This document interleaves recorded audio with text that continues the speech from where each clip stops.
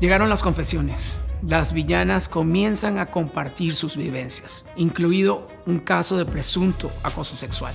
Vamos a platicar de este y otros momentos.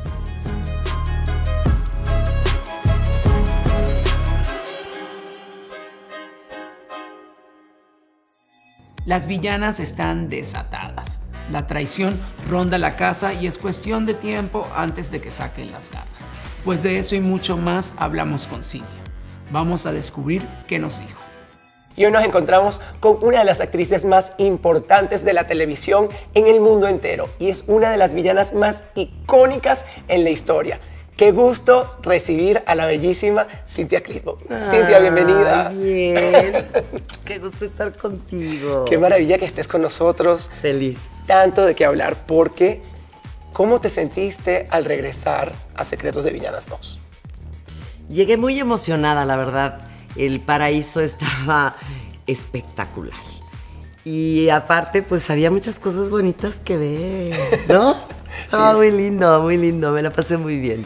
Ahora, acabamos de ver uno de los episodios y nos dimos cuenta como te veías de verdad realmente súper afectada en la situación con Gaby. Como tú trataste de hablar con ella, se veía como que a lo mejor no estaban conectando, ¿no? ¿Qué crees que pasó? Yo creo que Gaby nunca se enteró, eh, que lo comenté hace poquito, eh, y, y perdón que lo diga, pero bueno, pues si tuvieron los ovarios de reírse y decir, déjala, caga lo que se le pegue la gana, mi concepto de amistad es otro. Y si yo veo que tú te estás metiendo en un problema, voy a tratar de hacer lo que sea para evitar que sigas abriendo la boca. Y, y y- y- y me sentí mal porque Gaby nunca lo quiso entender.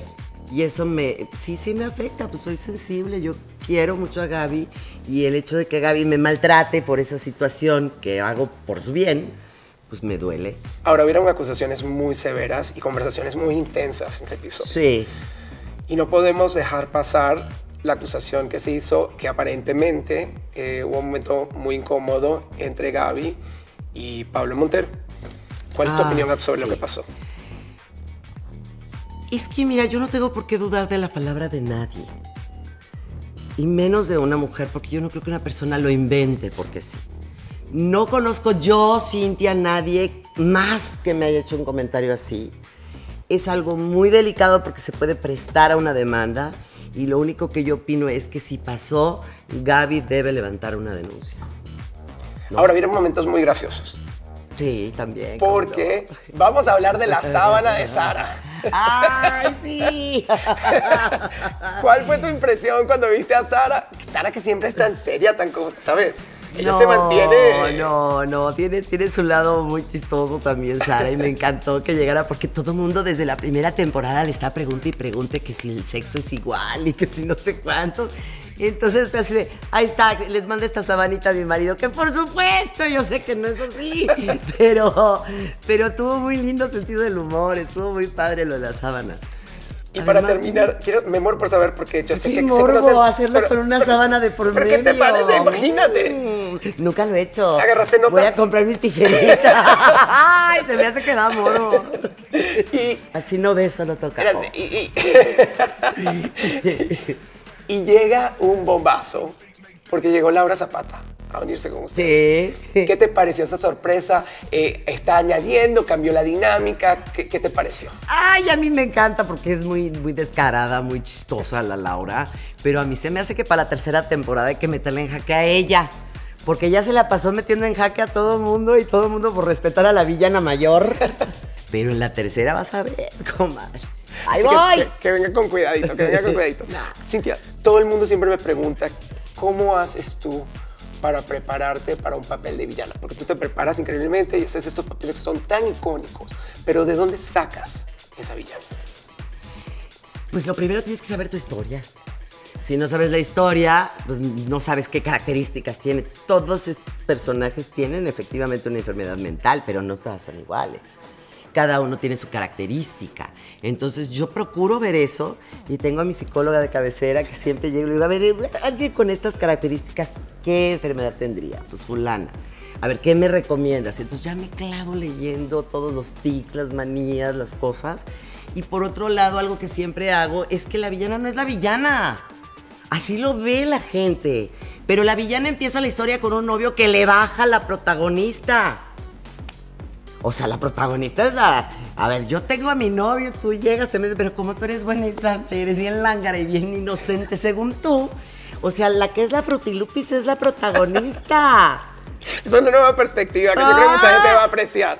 Ahora, la villana es la más guapa siempre. Es verdad. Entonces, realmente, si se pone a pensar, las mejores ropas, la que tiene más galanes, la que saca lana de donde puede, pero siempre vive como millonaria y se dé el lujo de matar a quien le cae gordo. ¿Quién no le va a encantar un personaje así? A mí me fascina. Es verdad. Mira, y el mundo ha cambiado tanto y hay, hoy en día que hay tantas oportunidades y vemos tantos proyectos diferentes, ¿verdad? ¿Hay alguna villana así pop de hoy en día que tú la, tú la veas y digas, eso me cae, esa sí, me puede inspirar a hacer una así? Ay, pues yo adoro a Angelique Boyer. Y trabajé con ella siendo Teresa y creo que es muy buena actriz, le quedan todos los personajes, pero, pero me gusta mucho como villana. Yo la respeto mucho, es una niña muy, muy seria en su trabajo, la gente la adora, yo la adoro. Trabajar con ella es un agasajo. ¿eh? Eh, Cintia, bueno, primero que todo, gracias por sentarte con nosotros. Ahora, para finalizar, yo quería preguntarte, ¿qué significa para ti ser parte de esta franquicia con todas estas villanas? A veces lo sufro, a veces lo sufro, porque de pronto somos demasiadas con diferentes mentalidades. A veces lo gozo mucho porque cuando nos ponemos todas en el mismo camino se convierte en algo muy divertido. Eh, disfruto porque de pronto eh, la que antes adoraba resulta que le descubrió otro lado en esta, pero la otra que yo decía, ay no, descubro que es una maravillosa persona, me río mucho, me gustaría pelearnos menos y sacar ese lado amable y, chistoso que tenemos todas, porque todas tenemos un gran sentido del humor. Sí es, sí es verdad. Y bueno, falta mucho todavía por ver en Secretos de Villanas. Recuerden que todas las semanas hay un episodio nuevo, no se lo pueden perder. Puedo presumir, puedo presumir. Pero todo lo que quieras. Somos el show estelar. Gracias a ustedes. Y eso, y ya premiadas, cinco premios. Eso eso es un orgullo porque se lo debemos a ustedes y a toda esta gente que está aquí detrás de cámaras en esta grandísima producción. Gracias, Clint. Gracias. Es un gusto siempre tenerte con nosotros. Y bueno, gracias a ustedes que nos acompañaron hoy. Recuerden, todas las semanas un episodio nuevo de Secretos de Villana aquí en Canela TV.